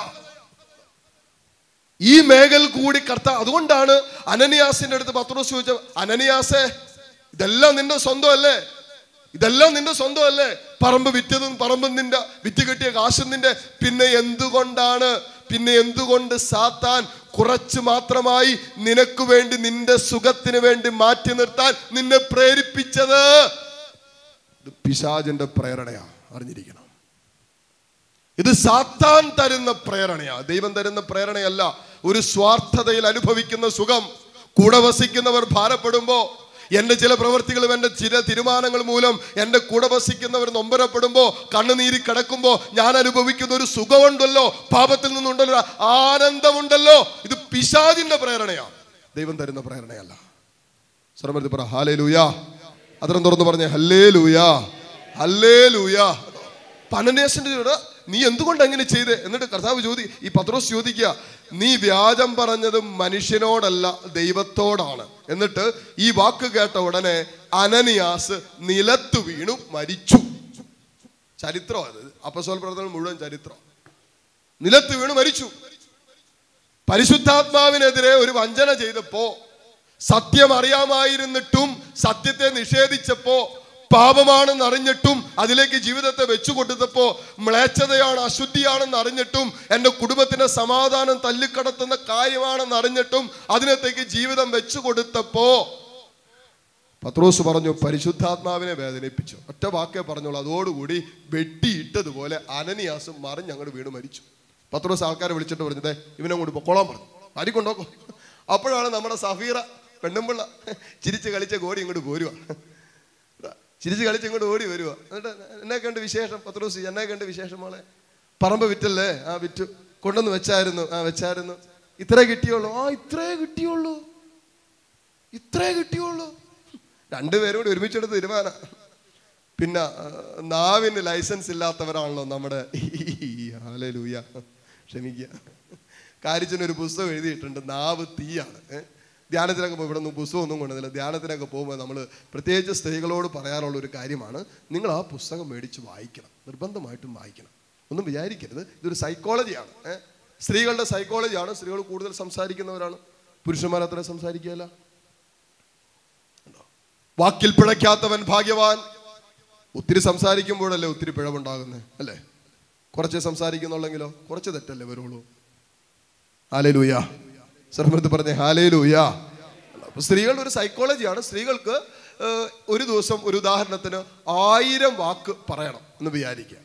ആയിരം വാക്ക് അല്ലെങ്കിൽ ആയിരം സെന്റൻസ് പുരുഷന്മാർക്ക് നൂറെണ്ണം പറഞ്ഞാൽ മതി. അവർ സാറ്റിസ്ഫൈഡാണ് കംഫർട്ടബിളാണ് ആയിരം ഇസ് ഈക്വൽ ടു ഹൺഡ്രഡ് എന്ന് പറഞ്ഞാൽ പത്ത് ഒന്ന്. അങ്ങനെ ഒരു ശതമാനത്തിലാണ് ഈ കാര്യം നടക്കുന്നത്. അതുകൊണ്ട് സ്ത്രീകൾ രാവിലെ മുതൽ വൈകിട്ട് വരെ ആരോടെങ്കിലും നോക്കി സംസാരിച്ചുകൊണ്ടിരിക്കും. കെട്ടിയോനെ കിട്ടിയില്ലെങ്കിൽ കെട്ടിടത്തെ നോക്കിയെങ്കിലും സംസാരിച്ചുകൊണ്ടിരിക്കും. ഇനിയിപ്പോ കെട്ടിയോ വരാൻ വയ്യ അതിൽ കൂടി പോകുന്ന ബംഗാളിനെ വല്ലതും കണ്ട. ഉണ്ടോന്നേ ഉണ്ടോന്നേ അപ്പോൾ പുള്ളി മറ്റേ ഈ എന്നാ മുണ്ടും പിന്നെ ബെഡ്ഷീറ്റും ചൂലും കോലും കുന്തവും കുറവടിയൊക്കെ ആയിട്ട് പോവാ. പുള്ളി അങ്ങോട്ട് പോവാ. രാവിലെ കെട്ടിയവൻ അഞ്ച് എട്ട് മണി വരെ എഴുന്ന കിടന്നുറങ്ങിയിട്ട് പുള്ളി എഴുന്നേറ്റ് എടി തിന്നാൻ വല്ലതും ഉണ്ടോ? ഉണ്ട്.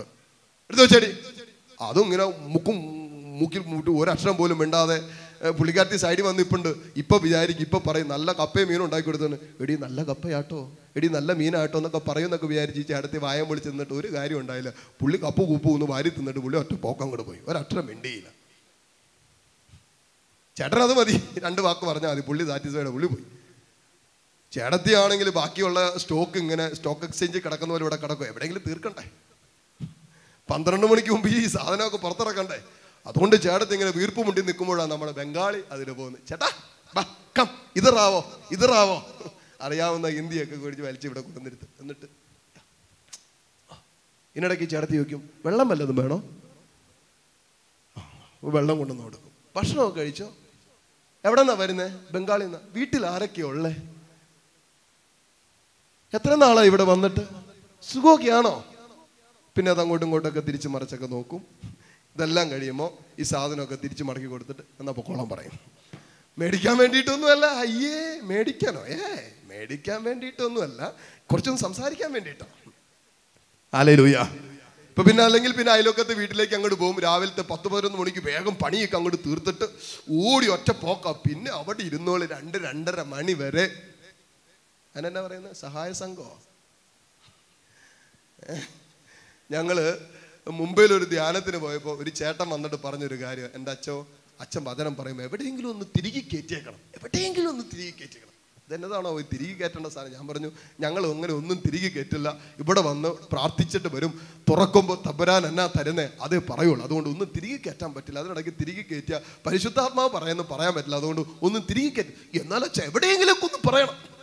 ഞാൻ ചോദിച്ചാ ഞങ്ങൾ കെട്ടിയോമാരൊക്കെ ജോലിക്ക് പോയി കഴിഞ്ഞാൽ ഈ ചേടത്തിമാർക്ക് എല്ലാവർക്കും ഒരു സംഗമമുണ്ട്. പ്രാർത്ഥന കൂട്ടായ്മ എന്ന് അവർ അതിനെ വിളിക്കുന്നത് അച്ഛാ ഒരു പ്രാർത്ഥനയില്ല. ഇതുങ്ങളെല്ലാം പത്ത് പതിനഞ്ച് പേരുണ്ട് എല്ലാം കൂടി ഒരുമിച്ച് കൂടിയിട്ട് ഞങ്ങളെ കെട്ടിയോന്മാരുടെ കുറ്റം പറച്ചിൽ തന്നെ. എന്നിട്ട് അവസാനം ഒരു പിരിവുണ്ട്. ഒരു പിരിവ് ഇവർക്ക് അങ്ങോട്ടും ഇങ്ങോട്ടും പരസ്പരം കാശ് വേണ്ടേ? ചേച്ചിമാർക്ക് അതിൽ കാശൊന്നും ഇല്ലാത്തതുകൊണ്ട് ഇവർ കണ്ടുപിടിച്ചേക്കുന്ന സമ്പ്രദായമാണ്. അവിടെ കുറച്ച് കൂട്ടായ്മയിൽ അവസാനം പിരിവൊക്കെ നടത്തിയിട്ട് അവരുടെ ഒരു കൂട്ടായ്മയിൽ പിരിവ്. ഈ പിരിവിൽ എന്നിട്ട് നറുക്കിട്ടിട്ട് അന്ന് കിട്ടുന്നത് ഈ ചേടത്തിയുടെ കയ്യിൽ അപ്പോൾ ആ ചേടത്തേക്ക് ഒരു മാസം ഓടിക്കാനുള്ളതായി.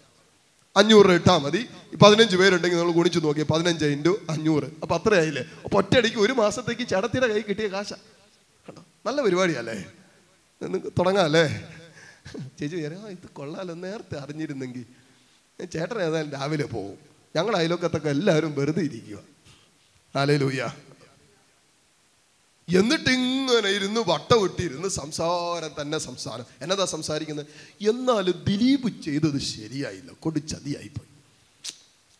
ദിലീപ് എന്നാൽ അങ്ങനെ ചെയ്യണ്ടായിരുന്നു. എന്നാൽ ആ കാവ്യ മാധവന് അത് വേണമായിരുന്നു. പിന്നെ എന്തോ മറ്റേ അരിയുടെ പ്രശ്നമല്ലേ സംസാരിച്ചുകൊണ്ടിരിക്കുന്നത് എന്നാലും അത് അവളാ മറ്റേ ആ ആറരയുടെ സീരിയലിന്റെ പേരാ തേച്ച്. മിണ്ടുകയല്ല ഒരാഴ്ചയിലത്തേക്ക്. ധ്യാനം ഉള്ളത് കൊണ്ട് അച്ഛാ അവിടെ പെട്ടിരിക്കുന്ന സിസ്റ്റം അവിടെയാ. ശരീരം മാത്രമേ ഇവിടെ ഉള്ളൂ സിസ്റ്റം അവിടെയാ? എന്നാലും മറ്റേ അതെന്നാ എന്നാലും ആ പേരെന്നാ ചേച്ചി? ഒന്ന് പറഞ്ഞു ചേച്ചി. അറിയാൻ പാടില്ലാത്തതുകൊണ്ടല്ലേ ചോദിക്കുന്നത് അറിയാമെങ്കിൽ ചോദിക്കുമോ ഏ? ആരുടെ സീരിയൽ അത് ആർക്കെങ്കിലും അറിയാവോ? പിള്ളേരുടെ അടുത്ത് ചോദിക്കണ്ടേ? പിള്ളേരുടെ അടുത്ത് പിന്നെ സീരിയലിന്റെ കാര്യം ചോദിച്ചോ പിന്നെ മറ്റേ ഇതുണ്ടല്ലോ മറ്റേ ചോട്ടാ ബീനോ. എന്റെ പേര് നമ്മളെ കുട്ടി ഒരു ടി വി ഇല്ലേ? പൊട്ട ടി വിയോ? എന്തോ? ആ കൊച്ച് കള്ളൻ. അറിയാം. കൊച്ച് ടി വി. അതിനകത്ത് എന്നാടാ കാണുന്നത് മറ്റേ മെയിൻ ഐറ്റം മറ്റേ മെയിൻ സാധനം എന്നാ? ചോട്ടാബി എന്ന് പറഞ്ഞൊരു സാധനം ഉണ്ടോ അതിനകത്ത്? പിന്നെ എന്നാ ഉള്ളത് ഏതാണ്ട് കുറെ ഒക്കെ ഉണ്ട്. ഇങ്ങനെ കണ്ണു മെഴിച്ച സാധനങ്ങൾ വാലുള്ളതും ഏ?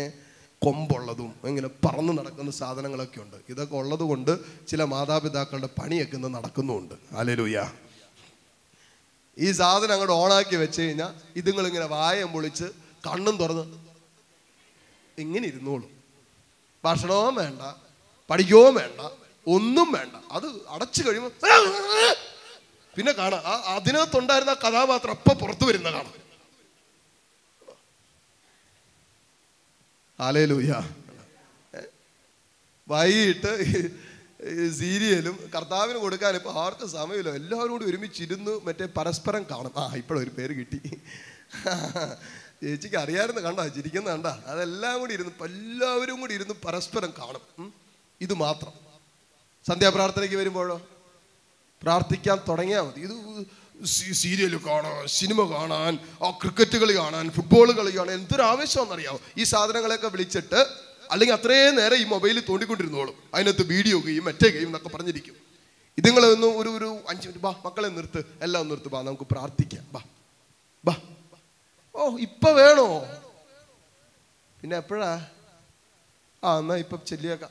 ഇതിനങ്ങളെയൊക്കെ പിടിച്ച് അവിടെ അങ്ങോട്ട് ഇരുത്തി കഴിയുമ്പോഴേ കുറച്ച് കഴിയുമ്പോൾ നമ്മുടെ ഈ വാഴയ്ക്ക് തൂണ് കൊടുത്താൽ എങ്ങനെ ഇരിക്കുന്നത് കണ്ടിട്ടുണ്ടോ? കൊലച്ച് കഴിയുമ്പോൾ ചിലതൊക്കെ ഇങ്ങനെ ഇരിക്കുന്നതാണ്. ചിലതൊക്കെ ഈ വാഴ കൊലച്ച് കഴിയുമ്പോൾ നമ്മൾ ചെയ്യുന്ന കണ്ടിട്ടുണ്ടോ? കൊലച്ച് കഴിയുമ്പോൾ ചാക്കിലാക്കി കെട്ടി വെക്കും പുകച്ചക്ക. ചിലതൊക്കെ കൈ കാലക്കൈനടയിൽ വെച്ചിട്ട് ഇങ്ങനെ ഇരിക്കുന്നതാണ്. സന്ധ്യാപ്രാർത്ഥന കഴിയുമ്പോൾ ചാടി എടുത്തിട്ട് ഫ്രഷായി പിന്നെ ചില ചില ഇത് ഇതുപോലത്തെ ചില നരന്ത് സാധനങ്ങൾ ഉണ്ടാകും അതുവരെ ഒരു കുഴപ്പമുണ്ടാവില്ല ഈ സന്ധ്യാപ്രാർത്ഥന നീ ഈ നടക്കുകയല്ലേ? അവിടെ തോണ്ടി ഇവിടെ തോണ്ടി അവിടെ തലയിൽ പോയി കുത്തി ഇവിടെ കുത്തി. അപ്പൊ അപ്പൻ അവിടെ തോണ്ടിയിരിക്കും അമ്മ അവളെ തോണ്ടിയിരിക്കും വീട്ടിലുള്ളവരൊക്കെ എല്ലാം തോണ്ടി. ഇങ്ങനെ സന്ധ്യാപ്രാർത്ഥനയുടെ സമയം മുഴുവൻ നല്ല നല്ല രസമാണ് സ്വരമെടുത്ത് പറഞ്ഞേ ഹല്ലേ ലൂയാ അല്ലേ ലൂയാ അതരം തുറന്ന് പറഞ്ഞേ ഹാലേ ലൂയാ പ്രിയപ്പെട്ട ദൈവ പൈതലെ ജീവിതത്തിൽ ദൈവത്തിന് കൊടുക്കേണ്ട പ്രാധാന്യം ഒരു ദൈവ പൈതൽ കൊടുക്കുമ്പോൾ ദൈവാനുഗ്രഹം നിന്റെ ജീവിതത്തിന്റെ കൂടപ്പറപ്പായി മാറും. ഒരു മാറ്റമില്ല അതിന്. കർത്താവിന് കൊടുക്കേണ്ട സമയം കർത്താവിന് കൊടുക്കേണ്ട നിന്റെ ജീവിതത്തിന്റെതായ മേഖലകൾ അത് കർത്താവിന് വേണ്ടി തുറന്നിടുമ്പോ കൊടുക്കുമ്പോ ദൈവാനുഗ്രഹം വണ്ടി വിളിച്ച് വണ്ടി വിളിച്ച് നിന്റെ വീട്ടുമുറ്റത്ത് വരും. പുറകെ നടക്കണ്ട. അല്ലേ ലൂയാ സന്തോഷത്തോട് പറ ഹാലേ ലൂയാ അതിനെ തുറന്ന് പറഞ്ഞേ ഹല്ലേ ലൂയാ ഇപ്പൊ ഈ ചേടത്തി വന്നേക്കുക ഒന്നും അറിയാത്ത പട്ടി നിൽക്കുക രണ്ടുപേരോട് നേരത്തെ പ്ലാൻ ചെയ്തേക്കുവാണ്. കള്ളത്തരം കാണിക്കുമ്പോൾ അങ്ങനെയാണല്ലോ. നേരത്തെ പ്ലാൻ ചെയ്ത്. അപ്പം വരുമ്പോൾ പറയരുതട്ടാ. എന്റെ അപ്പന്റെ അടുത്ത് പറയരുതട്ടാ. അമ്മയുടെ അടുത്ത് പറയരുതട്ടാ. ഏയ്! എന്റെ അപ്പന്റെ അടുത്ത് നീ പറയരുതട്ടാ. നല്ല കൂട്ടാണേ. ക്രിസ്മസിന്റെ തലേന്ന് കവലയിരുന്ന് വെള്ളം അടിച്ചപ്പോൾ രണ്ടുപേരോട് പറഞ്ഞ കാര്യമാണ് പ്രായം പന്ത്രണ്ട് അല്ല പന്ത്രണ്ടാം ക്ലാസ്സിലേക്ക് ആയിട്ടുള്ളൂ പതിനൊന്നാം ക്ലാസ് കഴിഞ്ഞിട്ടേ ഉള്ളൂ? പറയരുതട്ടാ. ഏ? അങ്ങനെ എവിടെ നിന്നോ കുറച്ച് കഞ്ചാവും കിട്ടി. അതും വലിച്ചു. ഞാൻ വലിച്ച കാര്യം നീ പറയരുതട്ടാ. ഇല്ല നീ വലിച്ച കാര്യവും ഞാൻ പറയാല. എന്തൊരു സ്നേഹം നോക്കിയേ. കണ്ട കള്ളന്മാർക്ക് ഭയങ്കര സ്നേഹമല്ലേലും. എന്നിട്ട് ഇവർ രണ്ടുപേരോട് പ്ലാൻ ചെയ്തിട്ട് വന്നിട്ട് ഇവർ രണ്ടുപേരും കൂടി അങ്ങോട്ട് അപ്പോഴേക്കും ഇവൾ വന്നിട്ട് പറഞ്ഞു അതേ അത്രേ ഉണ്ടായിരുന്നുള്ളൂ. മുഴുവൻ വെച്ചു. പിന്നില്ലേ? അല്ല എന്ത് ചോദ്യം? ഞങ്ങൾ സംശയിക്കാവോ? ഞങ്ങൾ അങ്ങനെ വല്ലതും ചെയ്യോ? എന്ത് ഈ പറയുന്നേ? ഞങ്ങൾ അങ്ങനെ വല്ലതും ചിന്തിക്കോ എല്ലാം ഉണ്ടെന്നേ. അപ്പൊ പത്രോസ് പറയുന്ന ഒരു കാര്യമുണ്ട് ശ്രദ്ധിച്ച് കേട്ടോ പത്രോസ് പറഞ്ഞു അവളോട് ചോദിച്ചു ഈ തുകയ്ക്ക് തന്നെയാണോ നിങ്ങൾ പറമ്പ് വിറ്റതെന്ന് എന്നോട് പറയും? അവൾ പറഞ്ഞു അതെ ഈ തുകയ്ക്ക് തന്നെ. അപ്പൊ പത്രോസ് പറഞ്ഞു കർത്താവിന്റെ ആത്മാവിനെ പരീക്ഷിക്കാൻ നിങ്ങൾ ഒത്തുചേർന്നതെന്ത്? കുടുംബമായി ഒരു പാപം. അലലുയ തകരാൻ വേറെ ഒന്നും വേണ്ട.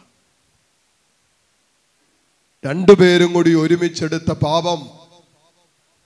വിവാഹം കഴിഞ്ഞ് ആദ്യ നാളുകളിൽ തന്നെ കുഞ്ഞുങ്ങൾ ഉണ്ടാകാൻ സാധ്യത വന്നപ്പോ ഉദരത്തിൽ ഒരു കുഞ്ഞ് ജനിക്കാൻ തുടങ്ങി തുടങ്ങിയപ്പോ ഭാര്യയും ഭർത്താക്കന്മാരോട് രണ്ടുപേരോട് ഒരുമിച്ച് അങ്ങോട്ട് തീരുമാനിച്ചു. നമുക്ക് ഇത്ര പെട്ടെന്ന് അങ്ങോട്ട് വേണ്ട. കളഞ്ഞേക്കാം. അലലൂയ രണ്ടെണ്ണം ആയില്ലേ? മതി. മൂന്നാമത്തെ വന്നപ്പോ മതി. കളഞ്ഞേക്കാം. അലലൂയ നോക്കിക്കേ. കുടുംബം ഒരുമിച്ച് ചില പാപങ്ങളിൽ വ്യാപരിക്കുമ്പോ അത് തകർച്ചയിലേക്കാ പോകുന്നത് മരണം ആത്മീയ മരണമാണ് എന്നിട്ട് സംഭവിച്ചെന്നാ നോക്കിക്കേ. എന്നിട്ട് പത്രോസ് പറഞ്ഞു കർത്താവിന്റെ ആത്മാവിനെ പരീക്ഷിക്കാൻ നിങ്ങൾ എന്താ ഒത്തുചേർന്നത് എന്നിട്ട് ചോദിച്ചു ഇതാ നിന്റെ ഭർത്താവിനെ സംസ്കരിച്ചവരുടെ കാലൊച്ച വാതിലിന് പുറത്ത് കേൾക്കാം. അവർ നിന്നെയും കൊണ്ടുപോകും. തക്ഷണം അവൾ അവന്റെ കാൽക്കൽ മരിച്ചു വീണു. അതായത് ഭർത്താവിനെ കൊണ്ടുപോയി സംസ്കരിച്ച് തിരിച്ചു വന്നപ്പോ ഇവൾ ഇവിടെ കലാപരിപാടി നടന്നുകൊണ്ടിരിക്കുക. ഇതാ കാലൊച്ചകൾക്ക് ആരുടെയാ നിന്റെ ഭർത്താവിനെ സംസ്കരിച്ചിട്ട് വരുന്നത്? ഇത് പറഞ്ഞു തീർന്നവര് ഇവളും വെട്ടി വീണ് മരിച്ചു. ഇനി ഇനി പറയാൻ പോകുന്ന കാര്യം നിങ്ങൾ ശ്രദ്ധിക്കുക. ഇത്രയും പറയാൻ കാരണം അവിടെ നിന്ന് ആ റോമാക്കാർക്ക് എഴുതിയ ലേഖനത്തിന്റെ പന്ത്രണ്ടാം അധ്യായത്തിൽ നമ്മൾ പോയതാ. ദൈവത്തിന്റെ കരുണയെക്കുറിച്ച് പറഞ്ഞ അങ്ങോട്ട് പോയതാ. ഇതായിരുന്നു ആ സമയത്ത് പരിശുദ്ധാത്മാവിനെതിരെ ഒരു തെറ്റ് ചെയ്തപ്പോൾ സംഭവിച്ച കാര്യം രണ്ടുപേര് വെട്ടി വീണ് മരിച്ചു. അങ്ങനെയാണെങ്കിൽ നമ്മളിപ്പോ അങ്ങനെ ഒരു പാപം ചെയ്യുവാണെങ്കിൽ ഈ വചന കൂടാരത്തിൽ നമ്മൾ എത്ര പേര് ജീവിച്ചിരിക്കും? പറ.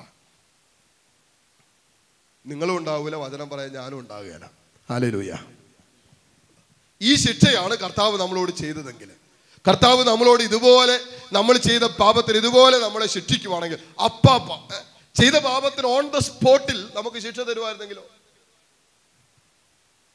ഇന്നലകളിൽ ആരും അറിയാതെ ചെയ്ത പാപത്തിന്റെ മേൽ കർത്താവ് കരുണ കാണിച്ചത് കൊണ്ടല്ലേ? അവൻ അവന്റെ പരിശുദ്ധ രക്തത്തിൽ നമ്മളെ പൊതിഞ്ഞു സൂക്ഷിച്ചത് കൊണ്ടല്ലേ? പ്രിയപ്പെട്ടവരെ നമ്മൾ ഇന്നും ജീവിച്ചിരിക്കുന്നേ?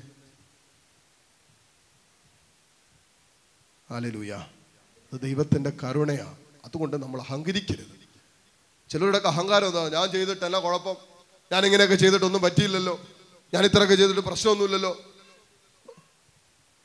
പാപത്തിൽ ദാമ്പത്യ അവിശ്വസ്തതയിൽ കിടക്കുന്ന ഒരു ജീവിത പങ്കാളിയുമായി വന്നിട്ട് സംസാരിച്ചുകൊണ്ടിരിക്കുക. പുള്ളി ഫിലിപ്പീൻസിലാ ജോലി ചെയ്യുന്നത് ജീവിത പങ്കാളി നാട്ടില. പുള്ളി വർഷത്തിൽ ഒരു മാസം നാട്ടിൽ വരും. ഇവിടെ താമസിക്കും. അങ്ങനെ നാട്ടിൽ ഭാര്യയും രണ്ട് പിള്ളേരും. ഫിലിപ്പീൻസിൽ വേറൊരു ഭാര്യയും രണ്ട് പിള്ളേരും. ആലോചിച്ച് ഇവിടെ നാട്ടിൽ നിന്ന് അങ്ങാണ്ട് ജോലിക്ക് പോയ പുള്ളിയാണ് ഇത് കണ്ടിട്ട് ഇങ്ങനെ ഇൻഫർമേഷൻ കൊടുക്കുന്നത്. അങ്ങനെ നാട്ടിൽ വന്നപ്പോൾ പുള്ളി സഹോദരി നിർബന്ധിച്ച് പുള്ളിയെ ധ്യാനത്തിന് കൊണ്ടിരിക്കുക ഈ ദാമ്പത്യ വിശ്വസ്തതയെ കുറിച്ച് ചോദിച്ചപ്പോൾ ഈ സഹോദരൻ പറഞ്ഞൊരു കാര്യം എന്നാണെന്നറിയാവോ ഞാൻ കാശുണ്ടാക്കുന്നു എനിക്കിപ്പോൾ ആരോഗ്യമുണ്ട് എനിക്കിപ്പോൾ കഴിവുണ്ട്. രണ്ടുപേരുടെ കൂടെ കടക്കാൻ രണ്ട് ഭാര്യമാരെ പോറ്റാൻ അവരുടെ മക്കളെ പോറ്റാൻ സാമ്പത്തിക ശേഷിയുണ്ടെങ്കിൽ എന്നാ കുഴപ്പം?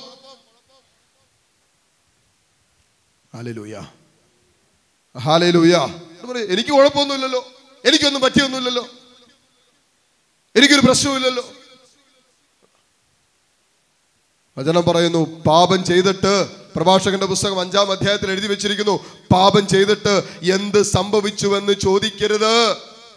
പാപം ചെയ്തിട്ട് എനിക്ക് എന്ത് സംഭവിച്ചെന്ന് ചോദിക്കരുത്. വചനം കൂട്ടിച്ചേർക്കുന്നു. കർത്തുകോപം സാവധാനമേ വരൂ. കർത്താവിന്റെ കരുണ പോലെ തന്നെ അവന്റെ അവനിൽ അവന്റെ ക്രോധവുമുണ്ട്. ആലേലൂയ എന്ന് പറഞ്ഞാൽ നീ ചെയ്ത പ്രവർത്തികൾക്ക് കർത്താവ് കണക്ക് നിന്നോട് ചോദിക്കുന്ന ഒരു സമയമുണ്ട്.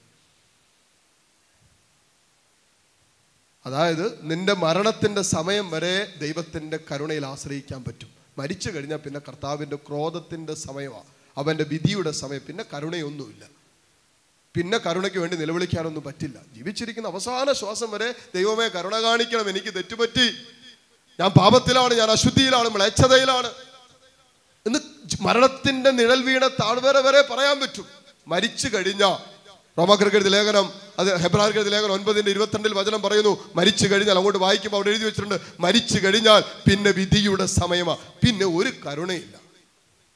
പിന്നെ കരുണയ്ക്ക് വേണ്ടി യാചിക്കാനൊന്നും പറ്റില്ല. അതുവരെ പറ്റുള്ളൂ. അതുവരെ നിന്റെ പാപത്തെ ഓർത്ത് അനുദപിക്കാം. അതുവരെ നിന്റെ പാപത്തെ ഏറ്റുപറയാൻ സമയമുണ്ട്. അതുവരെ അനുദപിക്കാനുള്ള സമയം കർത്താവ് തരും. അത് കഴിഞ്ഞ പിന്നെ വിധിയുടെ സമയം. കർത്താവിന്റെ നീതിയുടെ സമയം എന്ന് പറഞ്ഞാൽ നീ ശരീരത്തിൽ ചെയ്തിട്ടുള്ള രണ്ട് കോറിന്തോസ് അഞ്ച് പത്ത് വചനം പറയുന്ന പോലെ നീ ശാരീരികതയിൽ ചെയ്തിട്ടുള്ള എല്ലാ നന്മകൾക്കും തിന്മകൾക്കും ദൈവസന്നിധിയിൽ കണക്ക് ബോധിപ്പിക്കുന്ന ഒരു സമയമുണ്ട്. അല്ലേ ലൂയാ സർമ്മത്തിൽ പറ. ഹാലേ ലൂയാ വചനം പറയും നീ ആര് തന്നെയാലും മകനെ നീ അച്ഛനാകാം നീ കന്യാസ്ത്രീയാകാം നീ മാർപ്പാപ്പയാകാം നീ കമ്മിറ്റി അംഗമാകാം നീ അൾത്താര ശുശ്രൂഷയാകാം. നീ ആരുമായി കൊള്ളട്ടെ വചനം പറയും നീ ആര് തന്നെയായാലും നീ ശരീരത്തിൽ എന്ന് പറഞ്ഞാൽ ഈ ലോക ജീവിതത്തിൽ ചെയ്തിട്ടുള്ള നന്മകൾക്കും തിന്മകൾക്കും പ്രതിഫലം സ്വീകരിക്കേണ്ടതിന് അവന്റെ ന്യായാസനത്തിന്റെ മുമ്പിൽ ഒരു നാൾ നീ വരണം. അത് ആർക്കും മറികടക്കാൻ പറ്റില്ല. അലലൂയ അതുകൊണ്ടാണ് വിശുദ്ധ ഫൗസ്റ്റീന പറയുന്നത് കർത്താവിന്റെ കരുണയുടെ വാതിലിലൂടെ കടക്കാൻ വിസമ്മതിക്കുന്നവൻ നിശ്ചയമായും അവന്റെ നീതിയുടെ വാതിലിലൂടെ കടക്കേണ്ടി വരും. കർത്താവിന്റെ കരുണയുടെ വാതിലിലൂടെ കടക്കാൻ വിസമ്മതിക്കുന്നവൻ ദൈവത്തിന്റെ നീതിയുടെ വാതിലിലൂടെ കടക്കേണ്ടി ഇത് നിശ്ചയമാണ് അതുകൊണ്ടാണ് ഏഷ്യ പ്രവാചകന്റെ പുസ്തകം രണ്ടാം അധ്യായം പന്ത്രണ്ടാമത്തെ വചനത്തിൽ എഴുതി വെച്ചിരിക്കുന്നത് കർത്താവിന് മക്കളെ മറക്കരുത്. കർത്താവിനൊരു ദിനമുണ്ട്. നിന്റെ അഹന്തയും നിന്റെ അഹങ്കാരവും നീ എന്തിനെ കുറിച്ചൊക്കെ ഈ ലോക ജീവിതത്തിൽ അഹങ്കരിച്ചുവോ? അതൊക്കെ തകർന്നു വീഴുന്ന ഒരു ദിവസമുണ്ട്. അത് മറക്കരുത്. അത് കർത്താവിന്റെ ദിവസമാണ്. ഹാലേലൂയ അതിനെ തുറന്ന് പറഞ്ഞേ ഹല്ലേ ലൂയ ഹാലേ ലൂയ ആ ഒന്ന് പന്ത്രണ്ടിന്റെ ഒന്ന് വചനം കംപ്ലീറ്റ് ചെയ്ത് നമ്മൾ ആരാധനയിലേക്ക് പ്രവേശിക്കും. അതുകൊണ്ട് ആകയാൽ സഹോദരരെ ദൈവത്തിന്റെ കാരുണ്യം അനുസ്മരിച്ചുകൊണ്ട് അവിടെ നമ്മൾ ഇത്രയൊക്കെ പോയി. ദൈവത്തിന്റെ കരുണ അനുസ്മരിച്ചുകൊണ്ട് ഞാൻ നിങ്ങളോട് അപേക്ഷിക്കുന്നു. പരോശ്രീ പറയാ ഈ കരുണയെ കുറിച്ച് ഓർക്ക് ദൈവം നമ്മളോട് ഓരോ ദിവസം കരുണ കാണിക്കുന്നില്ലേ? ഓരോ ദിവസം എത്രയോ ജീവിതങ്ങൾ ഈ ലോകത്തിൽ നിന്ന് മൺമറഞ്ഞു പോകുന്നു. നമ്മുടെ തലയ്ക്ക് മുകളിൽ നമ്മുടെ മരണത്തിന്റെ നിലവിളിയുണ്ട്. ഓരോ നിമിഷവും മറക്കരുത്. എന്നിട്ട് നമ്മളെ ജീവിക്കാൻ ദൈവം അനുവദിക്കുന്നില്ലേ? അതുകൊണ്ട് പൗലോസ്ലിഹ പറയുന്നു ഇതൊക്കെ അനുസ്മരിച്ചുകൊണ്ട് ഞാൻ നിങ്ങളോട് അപേക്ഷിക്കുന്നു ഞാൻ നിങ്ങളോട് യാചിക്കുന്നു കെഞ്ചുന്നു. എന്നതാ കെഞ്ചുന്ന് നിങ്ങളുടെ ശരീരങ്ങൾ നിങ്ങളുടെ ശരീരങ്ങൾ വിശുദ്ധവും ഒന്ന്. നിങ്ങളുടെ ശരീരങ്ങളെ വിശുദ്ധവും രണ്ട്. ദൈവത്തിന് പ്രീതികരവുമായ സജീവ ബലിയായി സമർപ്പിക്കുവിൻ. ഇതായിരിക്കണം നിങ്ങളുടെ യഥാർത്ഥമായ ആരാധന. ഹല്ലേലൂയ. അപ്പൊ യഥാർത്ഥമായ സത്യമായ ആരാധന എന്നതാ ഹല്ലേലൂയ വിളിക്കുന്നതാണോ? പറ. ദൈവമേ എന്ന് ചങ്കുപൊട്ടി വിളിക്കുന്നതാണോ? കർത്താവെ കരുണ കാണിക്കണമേ എന്ന് പ്രാർത്ഥിക്കുന്നതാണോ? ഇതൊന്നുമല്ല. ഇതൊക്കെ അതിന്റെ ബൈ പ്രൊഡക്റ്റാണ് ഈ സ്നേഹത്തിൽ നിന്നുള്ള ദൈവത്തിന് നന്ദി പറയുന്നതൊക്കെ. ദൈവത്തെ കണ്ടുമുട്ടിയവൻ ദൈവത്തെ ആരാധിക്കും. അതത് സ്പോണ്ടേനിയസ് ആയിട്ട് വരുന്ന കാര്യമാണ്? പെട്ടെന്ന് ഒരു ഒരു കത്തിയോ ഒരു പെൻസിലോ നമ്മുടെ കണ്ണിലേക്ക് വന്നാൽ ഒരു റിഫ്ലക്റ്റീവ് പ്രവർത്തനം കൊണ്ട് കണ്ണ് പെട്ടെന്ന് അടച്ചു കളയും. എന്ന് പറയുന്ന പോലെ കർത്താവിനെ കണ്ടുമുട്ടിയ ഒരു പ്രവാചകന്മാരുടെ ലൈഫ് എടുത്ത് നോക്കിയോ? ആരൊക്കെ കർത്താവിനെ മുഖാമുഖം കണ്ടുവോ? ആരൊക്കെ കർത്താവിനെ ദർശിച്ചുവോ? വചനം പറയുന്നു അവരൊക്കെ കമഴ്ന്നു വീണ് ദൈവത്തെ ആരാധിക്കുന്നവരായി. അപ്പൊ ദൈവത്തെ ആരാധിക്കാൻ പറ്റാത്തതിന് കാരണം എന്താണെന്ന് മനസ്സിലായില്ലേ? ഇന്ന് വരെ കർത്താവിനുമായി ഒരു കണ്ടുമുട്ടൽ ജീവിതത്തിൽ കിട്ടാത്തവരാണ് ദൈവത്തെ ആരാധിക്കാത്തവർ. ഇന്ന് വരെ ജീവിതത്തിൽ ഒരു ദൈവാനുഭവം ഇല്ലാത്തവരാണ് ദൈവത്തെ ആരാധിക്കാൻ വിസമ്മതിക്കുന്നവർ. ഹല്ലേലൂയ. അതുകൊണ്ട് പൗലോസ്ലിഹ പറയുന്നത് യഥാർത്ഥമായ ആരാധന യഥാർത്ഥമായ ആത്മീയത യഥാർത്ഥമായ പ്രാർത്ഥന എന്ന് പറയുന്നത് നിങ്ങളുടെ ശരീരത്തെ ആത്മാവ് വസിക്കുന്ന ഈ ആലയത്തെ ഒന്ന് കൊരിന്തോസ് മൂന്ന് പതിനാറ് നിങ്ങളുടെ ശരീരങ്ങൾ ദൈവാത്മാവിന്റെ ആലയങ്ങളാണെന്നും പരിശുദ്ധാത്മാവ് നിങ്ങളിൽ വസിക്കുന്നുവെന്നും നിങ്ങൾക്കറിഞ്ഞുകൂടെ? ഇപ്പൊ ദൈവം വസിക്കുന്ന ഈ ആലയത്തെ വിശുദ്ധവും ദൈവത്തിന് പ്രീതികരവുമായ സജീവ പൂർണമായ ഒരു ബലിയായി സമർപ്പിക്കണം. ഇതാണ് ആരാധന. എന്ന് പറഞ്ഞാൽ ഒന്നും മാറ്റി വെക്കാൻ പാടില്ല നിന്റെ ഇഷ്ടത്തിനും നിന്റെ സുഖത്തിനും വേണ്ടി. അപ്പോഴാണ് ഒരു യഥാർത്ഥ ആരാധന വെളിപ്പെടുന്നത്. അവിടെയാണ് ദൈവപ്രവൃത്തി വെളിപ്പെടുന്നത്. അവിടെ സൗഖ്യങ്ങൾ സംഭവിക്കും. അവിടെ വിടുതലുകൾ സംഭവിക്കും. അവിടെ ക്യാൻസർ മാറും ട്യൂമറുകൾ മാറും അവിടെ തളർന്നു പോയ ജീവിതങ്ങൾ എഴുന്നേൽക്കും അവിടെ തടസ്സപ്പെട്ട് കിടക്കുന്നതെല്ലാം തുറക്കും ദൈവത്തെ ആരാധിക്കുമ്പോൾ വചനം പറയുന്ന പോലെ നിന്റെ അപ്പക്കലം അനുഗ്രഹിക്കപ്പെടും തുറക്കാത്ത ഉദരങ്ങൾ തുറക്കും നിന്റെ വയലുകൾ അനുഗ്രഹിക്കപ്പെടും നിന്റെ മക്കൾ ഇതൊക്കെ അനുഗ്രഹിക്കപ്പെടുന്നു ദൈവത്തെ ആരാധിക്കുമ്പോഴാണ് ദൈവത്തെ ആരാധിക്കുമ്പോൾ യഥാർത്ഥ ആരാധന ഈ ശരീരത്തെ വിശുദ്ധമായി ദൈവത്തിന് പ്രീതികരമായി സൂക്ഷിക്കുന്നതാണ് മ്ലേച്ഛതയിൽ നിന്നും ദുശീലങ്ങളിൽ നിന്നും പാപബന്ധങ്ങളിൽ നിന്നും ജടിക പാപത്തിൽ നിന്നൊക്കെ ശരീരത്തെ വിശുദ്ധമായി സൂക്ഷിക്കുമ്പോൾ അതൊരു ആരാധനയായി ദൈവസന്നിധിയിൽ മാറും. ഹല്ലേലൂയ. ഹല്ലേലൂയ ഹല്ലേലൂയ. റോമാക്കാർക്ക് എഴുതിയ ലേഖനം ആറാം അധ്യായം പന്തിമൂന്നാമത്തെ വചനത്തിൽ ഇങ്ങനെ എഴുതി വെച്ചിരിക്കുന്നു. നിങ്ങളുടെ അവയവങ്ങളെ അനീതിയുടെ ഉപകരണങ്ങളായി പാപത്തിന് സമർപ്പിക്കരുത്. പ്രത്യുത മരിച്ചവരിൽ നിന്നും ജീവൻ പ്രാപിക്കുന്നവരായി. നിങ്ങളെ തന്നെയും നീതിയുടെ ആയുധങ്ങളായി നിങ്ങളുടെ അവയവങ്ങളെയും ദൈവത്തിന് സമർപ്പിക്കുവിൻ. നിന്റെ കണ്ണുകൾ നിന്റെ കാതുകൾ നിന്റെ നാവ് നിന്റെ ഹൃദയം നിന്റെ ശരീരം നിന്റെ കരകൾ എല്ലാ അവയവങ്ങളും കർത്താവിന് സമർപ്പിക്കുവിൻ. അലരുയാ എന്ന് പറയാം കർത്താവിന് സമർപ്പിക്കപ്പെട്ടത് വിശുദ്ധമായി. പിന്നെ അങ്ങനെ പാപം ചെയ്യാൻ പറ്റും? നിന്റെ ജീവിതത്തിന് ചില മേഖലകൾ ഈ സമർപ്പണമില്ലാത്തത് കൊണ്ടാണ് ആ മേഖലയിൽ പാപം ചെയ്യുന്നത്. ആ മേഖല ദൈവത്തിന് സമർപ്പിക്കാത്തത് കൊണ്ട് ആ മേഖല നീ ഇടറിപ്പോകുന്നത് നീ വീണു പോകുന്നത് നീ കെട്ടിയിട്ടതുപോലെ കിടക്കുന്നത് സമർപ്പണമില്ലാത്തത് കൊണ്ടാണ് എന്നിട്ട് വചനം കൂട്ടിച്ചേർക്കുന്നു. പാപം നിങ്ങളുടെ മേൽ ഭരണം നടത്തുകയില്ല. കാരണം നിങ്ങൾ നിയമത്തിന് കീഴിലല്ല നിങ്ങൾ കൃപയ്ക്ക് കീഴിലാണ്. ഹാലലൂയ അപ്പൊ പാപം നമ്മുടെ മേൽ ഭരണം നടത്തില്ല. യേശുക്രിസ്തുവിന് സമർപ്പിക്കപ്പെട്ട ഒരു ജീവിതത്തിന്റെ മേൽ പാപത്തിനോ പിശാചിനോ അധികാരമെടുക്കാൻ പറ്റില്ല. ആലലൂയ പാപത്തിലൂടെ മാത്രമാണ് ഒരു ദൈവ പൈതലിന്റെ മേലും ഒരു കുടുംബത്തിന്റെ മേലും പിശാചിന് അധികാരമെടുക്കാൻ പറ്റുന്നത്. അതുകൊണ്ടാണ് യൂതിത്ത് പറയുന്ന ഒരു കാര്യമുണ്ട്. ദൈവത്തിനെതിരെ പാപം ചെയ്താലല്ലാതെ ഞങ്ങളുടെ ദൈവത്തിനെതിരെ പാപം ചെയ്താലല്ലാതെ ആർക്ക് ഞങ്ങളെ തോൽപ്പിക്കാൻ പറ്റും?